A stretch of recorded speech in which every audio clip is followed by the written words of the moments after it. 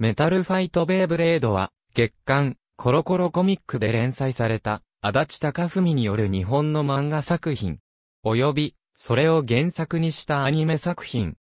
タカラトミーから発売された、ホビー、ベイブレードを題材としている。バクテンシュートベイブレードで一旦は収束した、ベイブレードシリーズの2008年より展開された、新シリーズで、漫画及びアニメで、メディアミックス展開される。前作との直接的な物語のつながりはなく、登場人物もベイブレードも一新されている。前作までが詩人をモチーフにしていたのに対し、本作は星座をモチーフとしている。本作は、個人戦が主になっているが、ビッグバンブレーダーズ編は、前作同様チームバトルとなっている。なお物語は日本から始まり、ビッグバンブレーダーズ編以降は日本を含めた世界が舞台になっている。原作となる漫画版では、第1話から第7話までが第1部、第8話からが第2部、バトルブレーダーズ編、第21話からがビッグバンブレーダーズ編、第34話から最終話までがアルティメットブレーダーズ編となっている。アニメ版では第24話からバトルブレーダーズ編、第52話から第2シーズン、第103話から第3シーズンとなっているが、総話数は継続され、それぞれ DVD が、ボリューム01からリリースされている。漫画版は、アニメ、ゲームの原作となるが、ほぼ並行作業となっていて、アニメの設定をフィードバックしたり、アニメ初の設定やキャラクターを使用することもある。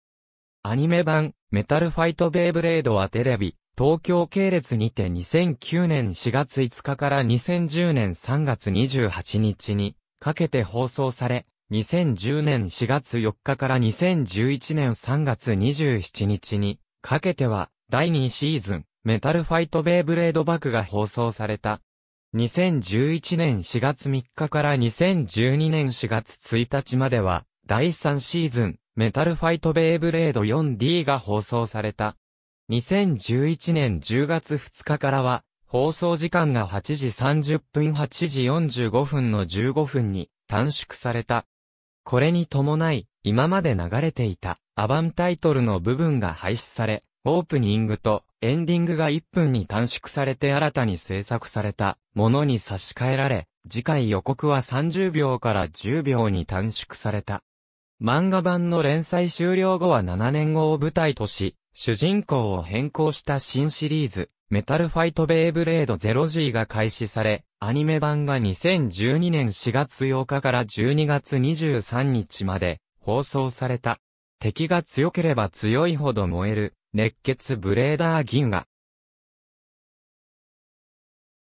ベイバトルが大好きで、より強くなることを目標に、強敵を求めて、武者修行をしている。彼は京也率いる悪のグループ首狩り団と無謀なベイバトルをすることになる。勝負がつくまで決してくじけない強い心を持ち、バトル以外では友達思いのどこにでもいる少年、銀が、新たなライバルとの出会い、友情、別れ、様々なベイバトルを通して彼らは成長していく。この節ではアニメ版の設定を中心に解説する。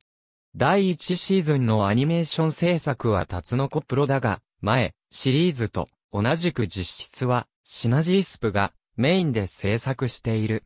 カッコ内はバクとしての話数。カッコ内は 4D としての話数。129話以降の TV オンエアは1話15分となり、DVD では2話分を1話30分形式にして収録。サブタイトルは前半部分のものが使用されている。メタルファイトベイブレードは福井テレビ、沖縄テレビチューリップテレビでも2010年8月に単発で放送された。いずれの各国のチャンネルはメタルファイトベイブレード、メタルファイトベイブレード 4D に共通する。月刊コロコロコミック2008年10月号から2012年3月号まで連載。著者、足立隆文。初期型とハイブリッドオイルシステムのスターターで、同梱内容が異なっていない場合は、緑色のライトランチャーとワインダーが同梱されている。マキシマムシリーズのスターターからは、新型ライトランチャーの黒のライトランチャー2と、ライトランチャー2用のワインダーが同梱されている。ランダムブースターの当たりベイやセット同梱の新規ベイ、新規パーツ搭載ベイ以外のものは含まないことにする。商品化されたベイの中には限定品となっているものがあり、一般では入手できないベイがある。現在は商品展開終了で、すべてのベイは生産終了になっている。初期型2008年8月から2009年2月まで展開されたシリーズ。ハイブリッドシリーズに対し、スタンダードメタルシリーズやメタルシリーズと呼ばれる。ウィールはすべてシルバー塗装されており、無塗装の金属ではない。ブースターには一定の確率でレアベイのケツァルコアトルのウィール以外のパーツが当たりとしていずれか一つ入っていることがあった。現在、プレミアムリターンズして販売されている初期型の米には入っていない。これらの米は一部の例外を除き、原作の本編と DS1 作目のゲームのみの登場。ハイブリッドオイルシステム2009年3月から2012年2月まで展開されたシリーズ。